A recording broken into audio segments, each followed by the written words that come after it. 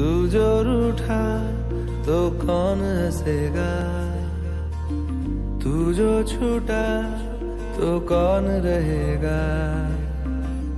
तू चुप है तो ये डर लगता है। अपना मुझको अब कौन कहेगा? तू ही वजह